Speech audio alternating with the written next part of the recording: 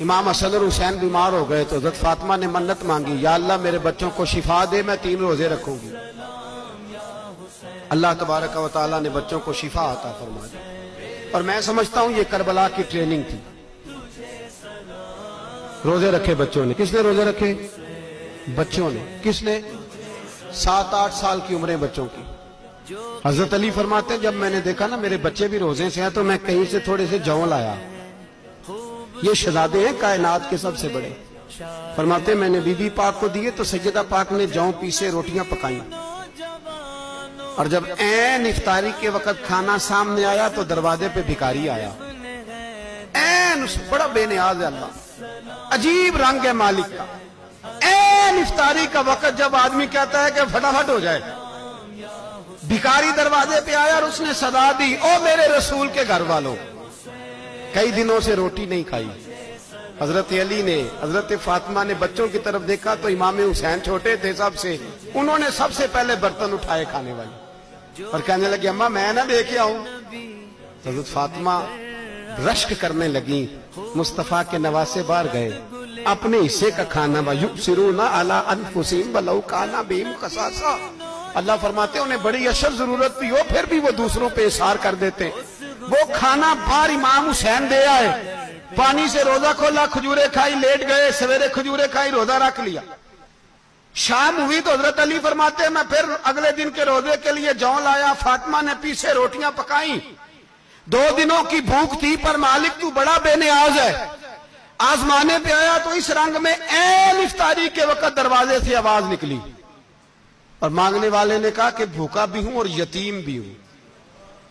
यतीम हूँ। हज़रत फातिमा कहने लगी, बेटा, देर ना करना। यतीम का पेट भरने में देर नहीं होनी चाहिए। खाना बाहर चला गया। पानी से रोजा, खजूरे, शहजादे हैं शहजादे। ये दो जहाँ के शाह हैं। पास कुछ रखते नहीं। दो जहाँ की नेमते हैं इनके खाली हाथ में। खजूर पानी से इफ्तारी भी, सहरी भी, सवेरे फिर उठे, रोजा रखा, तीसरा दिन है, तीसरा। जरा दिल पे हाथ रखना, बच्चा एक रात भूखा हो तो अम्मा सोती नहीं। और मैं कहा करता हूँ, अम्मा फालज वाली हो ना, फालज वाली माँ, फालज ज़्यादा। तो आधी रात को उसका बेटा जवान कहे थोड़ी भूख लगी हुई थी। तो अम्मा को रींगना भी पड़े तो वो रींग के भी जाती है। रोटी पकाती है, कहते मेरा लाल भूखा ना सो जाए। और मुस्तफ़ा की बेटी से ज़्यादा बच्चों से कौन प्यार कर सकता है? और तीन दिन के भूखे बच्चे, तीसरा दिन आया बड़े हौसले से बीबी कह देती है, छोड़ो, इनका तो काम है, ये तो आते रहते हैं। मेरे बच्चे भूखे, तुम पहले रोटी खाओ। लेकिन मेरे भाई, करबला ऐसे नहीं सजती। ये जो बर्गर खा के नाराज़ होने वाले बच्चे होते हैं, ये मैदानों में नहीं निकल पाते, इनके लिए मुश्किल होता है।